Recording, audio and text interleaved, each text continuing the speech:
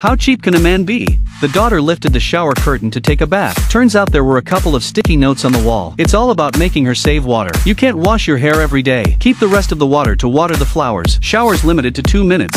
But Xiaotsui can't handle that much. 2 minutes is not enough to wash your face. Soon the hot air coming out of the bathroom was discovered by Curls. He switched off the lights before eavesdropping. Then he ran to check the water meter. Looking at the water meter is almost running to smoke. The curly hair turned off the water heater decisively.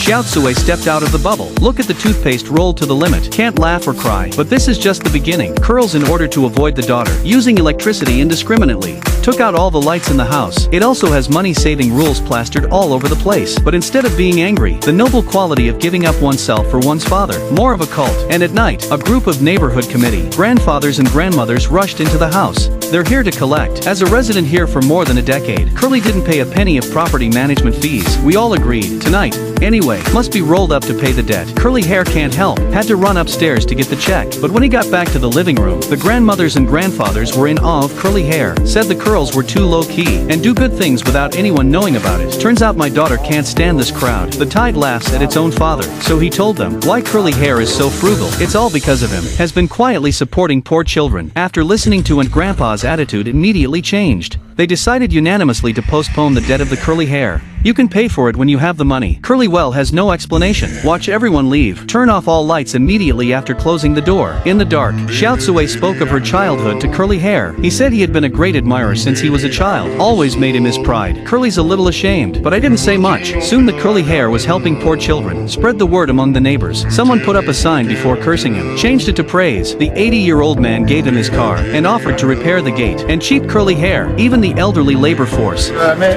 euh, si vous pouviez aussi monter sur le toit parce que j'ai j'ai deux trois fluides à changer et moi j'ai le vertige. With the arrival of Xiaotsui, curly hair is getting better with the neighborhood. But what happened next to make the curly hair crumble?